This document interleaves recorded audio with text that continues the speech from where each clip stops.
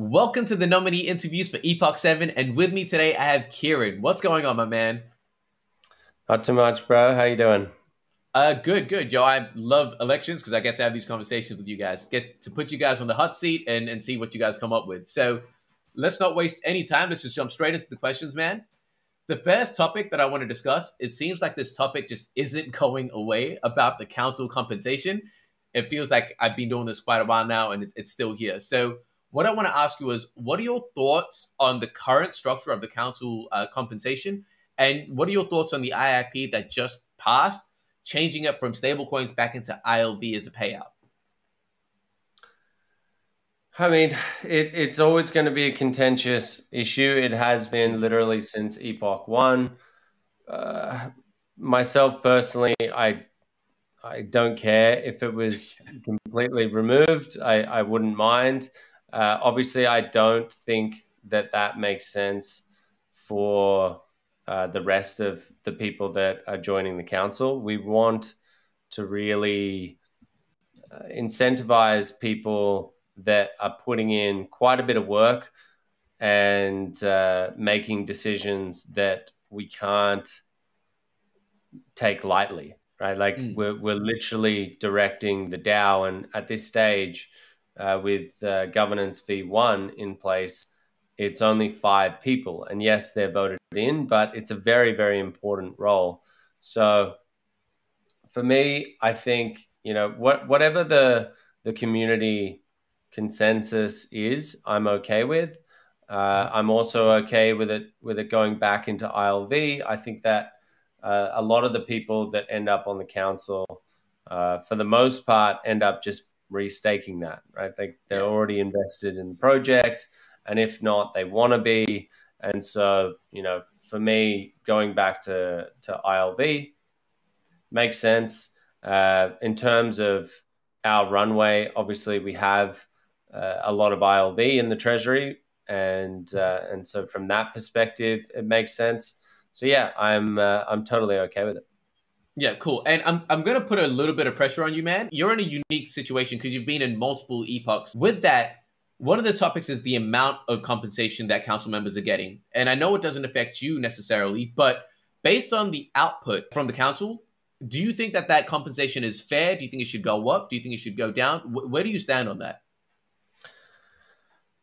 I mean, again, it's it's pretty tough, but I think it's uh, so I would say in previous epochs, there's certainly been less interaction, less meetings, and uh, and I've been really, really, really happy with the council this time. I think mm. uh, they've they've done a great job.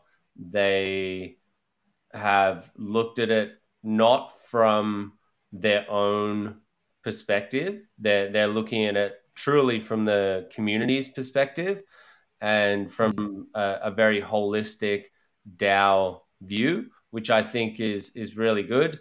So it's very tough for me to say to, to sit here and say I think we should reduce it because it has been such a good epoch. I think part of that as yeah. well is is the fact that we we moved from three months to six months. It's given us a lot more time to understand each other and and get each other.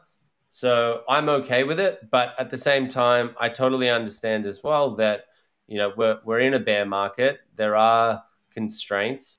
So I would also be okay with it being reduced a little bit as well. I definitely don't think it should be increased, but uh, yeah, that, that's where I stand on it. Yeah, and Kieran, with these questions, I am giving them to you because they are the same as everyone else, and I'm not changing them for you. So it's all good. bear with me with these questions. One of the the next question is kind of funny to be asking you specifically, but in the last six months, how have you contributed to Illuvium, and why do you believe that this is being beneficial for the DAO?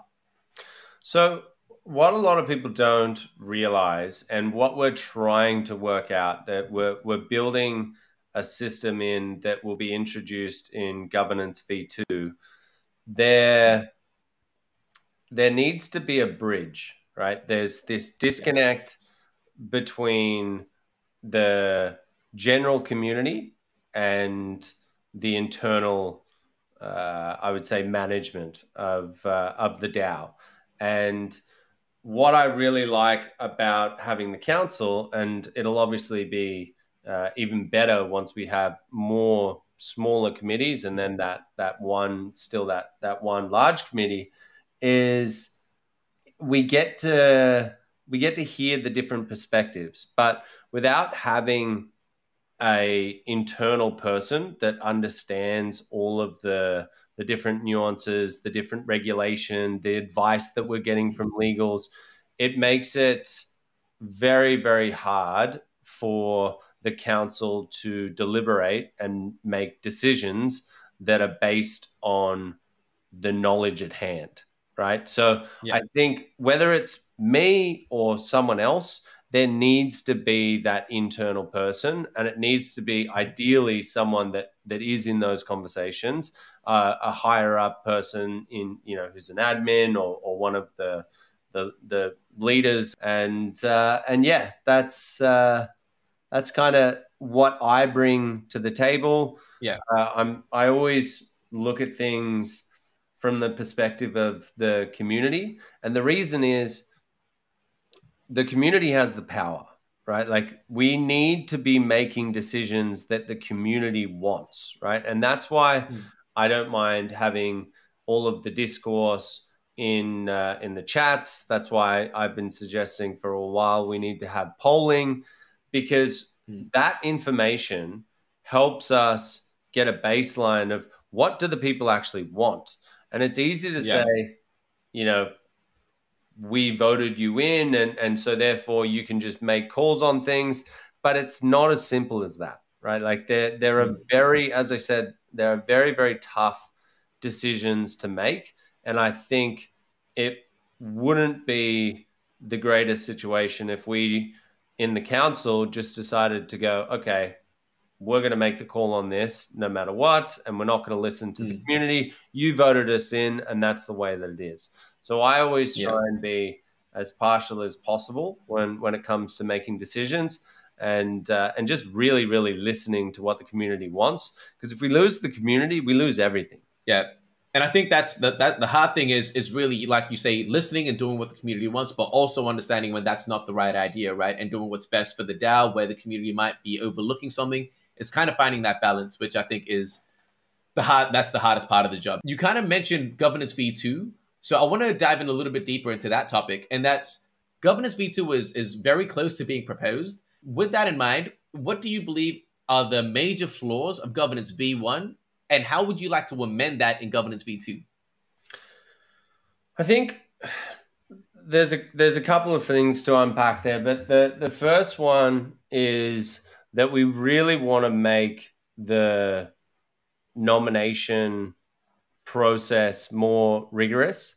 And part of that plays into having uh, more committees that are more specialized, right? I don't mm. think it makes sense that uh, certain IIPs and ICCPs are voted on by people that don't have expert knowledge on the subject.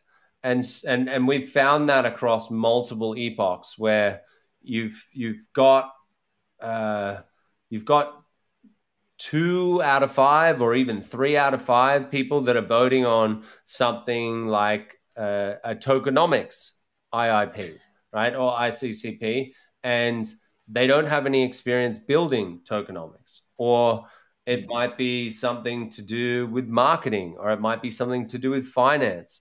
And so it's all about having these committees of experts that we can get that information from on a readily uh, available basis and having them compensated to do so. So you have experts across the the all, all of these different fields that that essentially are feeding this information back up to this main council so they can make the most informed decision possible right? And and mm. that's what it is all about in governance v2 is we want to make things as transparent as possible by but but also making sure that we stay within this sweet spot of staying a DAO, right? Like we can't yeah. get to the stage where someone deems us as a company or a security. We need to stay yeah. decentralized, but uh, but we also can do that, I think, in a more efficient way by having these mm. smaller committees. So that's basically it. No, I agree. Yeah, I am excited. I've said this pretty much in all of these uh, interviews I've had. I am excited to see what the feedback is from the community once they see what we've been working on with Governance V2 because it, it does look like it's going to benefit the DAO. It's going to benefit the, the community. It's it's a lot of plus sides uh, for that. So this next question is very much a, a layup. If you do get elected and Governance V2 does get approved during your term, would you be willing to cut your term short and to conduct a new election so we're able to transition into V2, P- potentially risking your position on the council? Yeah, so I was the one who actually suggested that. So, so yeah, definitely. yeah, I was gonna say it's a very yeah that, that question is definitely meant for for others, not not yourself. But, but I mean, look, it, it's a no brainer, right? Like, it, and yeah, every single person that is on the council, we we were even suggesting rather than making that a thing, just let this epoch write a, an IIP to allow this epoch, the the current one, yeah. to go longer because we're so close to delivering the yeah. the new governance v2 it also puts a little bit more pressure on us to go okay we've extended this we're not doing it i mean i i and i i don't want to speak for the others on the council but i genuinely believe that if that decision was made it wouldn't it's it's not coming from a selfish point of view. Yes. It's literally coming from a point of view of let's just keep things as smooth as possible. And then as soon as we can pivot to, to governance V2, every single person that is on the council agreed, we just start the nominations again. And as yeah. I said, then we get the benefit of that rigorous nomination process where we're going through a situation where everyone has to literally almost like like putting in a resume, right? Like not yeah. just the the very brief, hey, I'm this guy and this is what I've done and blah blah blah. Like putting in this is my profession. This is why I think I can benefit the DAO. These are the mm. skills that I bring to it. This is how long I've been in in in crypto, and so I think anyone that's wanting to to push that back is someone that shouldn't be a council member anyway. And so yeah. I think you're going to get the same response from every single current council member. And I think that's the way that it should be. No, 100%. 100%. All right. And so this last question, actually, I, I'm going to add an, an additional question at the end, right? Just based on the conversation we're seeing in the community. But this the second to last question now is something that I'm very interested to get your take on. Discussing council members' duties, their responsibilities, the expectations of a council member if you had to write a formal IIP to clarify what a council member's duties and time commitments are, what would be included in that IIP? What do you personally, as the founder, expect from a council member? I expect a council member to carefully review all of the discourse in Discord, all of that discussion, even though sometimes it gets heated. And, and to be honest, you know, I'm usually part of that heat, but it's it's part of your job, right? Like you need to be reviewing because ultimately you are the delegate of the people. And so if you're making a decision that doesn't fit with what the majority in the community is asking for, ultimately an IIP or an ICCP ICCP that that goes through is uh, is not going to be in favor of the the majority of the DAO, and that's when confidence starts to erode, and we we don't want that, right? So the yeah. first and, and foremost, you have to be active. You have to be uh, looking at, at what the people want, and then at the same time, you need to be using your expertise in whatever field that you have to really apply that where it matters, right? And mm. and again, I'm speaking about V1 in, in this yeah. instance. And that's again why I really liked this current council because when we're discussing things and we've got an external chat where we go into depth and, and we also have arguments back and forth, right? Mm-hmm. Like there's there's definitely you know uh, just as as many robust discussions in in there as there is the community, but there's been times where people have stepped back and said, "Look, this isn't my my expertise," you know. So I'm going to listen to the three or four other guys that have more experience in this, and uh, and yeah, that's that's yeah. what I would say. Yeah, yeah, awesome, awesome. Um, and again, that's why I'm really looking forward to governance V2, because like you say, everyone's going to be specialized. We're going to have these like higher level, mm-hmm. higher quality conversations in those specialized uh, subcommittees, as you put it.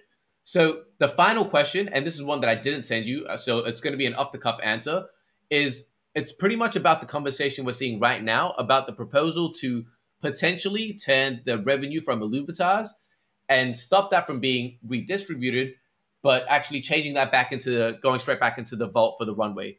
What are your thoughts on that? You've kind of said that, that this was something that you had thought of, but you didn't want to champion it yourself, obviously because of the optics. What are your thoughts about it, and how do you feel now that the, the community is the one that's brought that up, and and how do you feel about the the conversation the way it's going now? I, so honestly, I don't mind tabling anything and championing anything that I think is going to be the best outcome for the DAO. Right now, mm-hmm. in that situation internally, I brought that up like two months ago now, maybe maybe even longer. Right, and the fear was what if the community lashes out and says this is ridiculous. Why would we do mm-hmm. that? You're you're now changing the tokenomics and and all of that kind of stuff. And it doesn't make sense right? Like the logical thing to do in this situation and again i'm coming from a place where i've stated i don't think we need to yeah. to do this, right? We have a lot of runway. We have revenues that are just around the corner from multiple different sources. And so I think it's a backup, right? Like th- mm. this whole idea is a safety net. And the more I think about that, the more I'm like, you know what? I'm okay with the idea. Now, mm.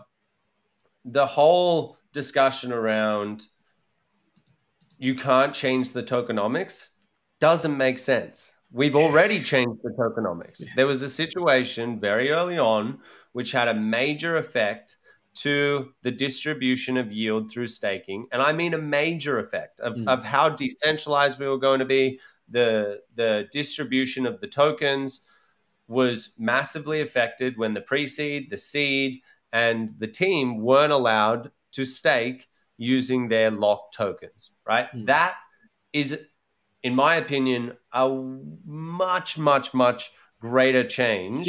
It was in the white paper, it was allowed, and someone came along and said, Hey, I don't think we should do this.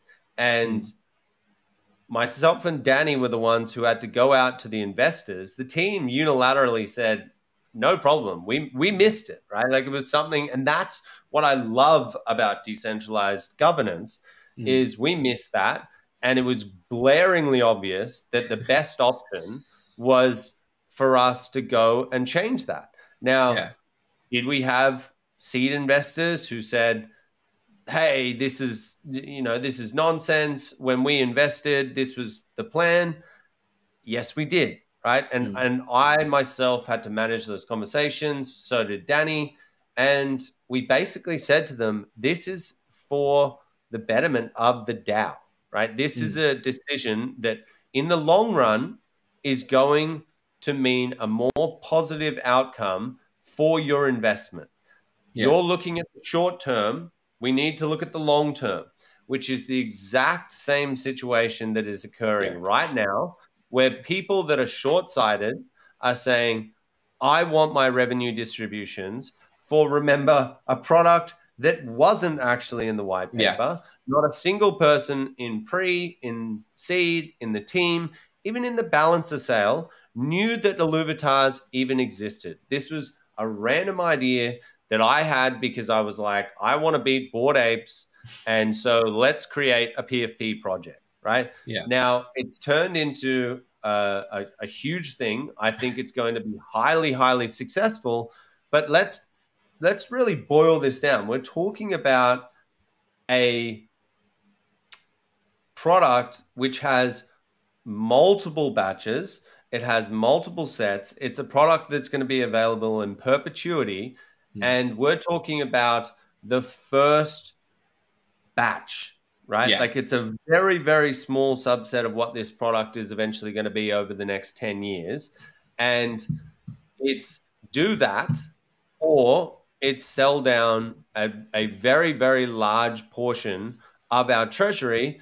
Once again, we have the ability over time. I don't think that's going to be an issue either, but I think it's going to be more of an issue than us diverting these these initial revenues. And mm. on top of that, what I've suggested is that if we don't need it, if I'm right and we get the revenues in and everything works out totally fine and our treasury has enough runway and we're all of a sudden we have more revenue coming in than our outgoings, we just put the revenue from Illuvitars back. It's not like we have no revenue and we've got to spend yeah. this immediately. We just put it back in the vault. And then the entire yeah. discussion is moot, right? And yeah. all it shows is that we as a DAO were able to coordinate and sophisticatedly look at something and go, okay, we may have a problem, right? There, mm. there may be in a in a terrible, terrible world, we may run into a problem. So let's alleviate that potential yeah. problem. And it may need to be used, but it probably won't. And yeah. that shows how decentralized governance can be extremely good for the protocol. Yes, it changes our tokenomics, but we're not talking about in-game revenues once again, which would be a mm. little bit crazy. No one's suggesting that. We're yeah. talking about a, a, a, very external product, right? So yeah. I don't know, man. From, and again, I, I like I, I think the really positive thing, and Aaron has said this. He said to me, "I can't believe it." Right? Like I actually, you know, the the majority is saying, "Yeah, that's this yeah. makes very logical, right? It's like it's very logical. It is very logical. I'm so, right? like it, yeah. It's a very. I'm supposed to be objective, but it is very logical. Yeah. I mean, I, I'm still yet to hear an argument against it that is better that that makes sense, right? Like yeah. I'm I'm sitting here going, the like, uh, once again the minority, and they're a very very very small subset are the most vocal, right? And yeah. it almost seems like I'm talking to the same people that have the same issue over the past 18 months. Now, I'm not insinuating anything. I'm extremely tired at the moment. And so, you know, we're, we're all working as hard as we possibly can. But we have shown time and time again that as a DAO, we're all here for the long term. This is not a flash in the pan project. This is not just a, a, a get rich quick thing. We're here yeah. to make an entertaining game and build an IP that lasts the ages. And so mm. this is honestly a blip on the radar. And I think once these things blow over, and again, maybe it's a good thing that that this sort of discussion has happened because it shows that we can once again coordinate as a, a, a DAO and get things done when we need to and it not affect the token holders, right? Yeah. So that's yeah. where I'm at. No, man, yo, Kieran, I appreciate you taking the time. I know you've been up since like 5 a.m. and this was a last last minute kind of thing, but I appreciate you coming on and, and having this chat with me, man. Before we close this out, is, is there anything you want to say? Any last words before we end this? I'd probably like to say, look, I'm sorry if I'm a little bit hostile sometimes. I'm very protective of the team. I'm very protective of the project. It's just the way that I am, right? Yeah. And we have constantly shown that we are here to do the right thing by the community because doing the right thing by the community is the way that you get a positive outcome when it comes to the entire project. So yeah. I'm sorry if sometimes I get a little bit angry and uh, and and you know, I got to work on that. I really do. But it comes from a good place. I promise you. I, you know, I just, it's, it's a, it's a very, very personal thing. We're putting mm. not just me, that like the entire team is putting their, their life into this, and so yeah, I if Yeah. I've offended anyone in the in the process of us getting to to whatever the outcome is, I do apologize. I don't mean it, but uh, but yeah, that's that's my my reasoning there. Yo, that's a that's one way to end this off. All right, yo, Kieran, I appreciate you. For anyone else that is watching, thank you guys for watching. Make sure you follow this channel for more governance content. We're going to be flooding this page with governance stuff. So make sure you follow this and keep up to date. But anyway, I appreciate you guys and peace out.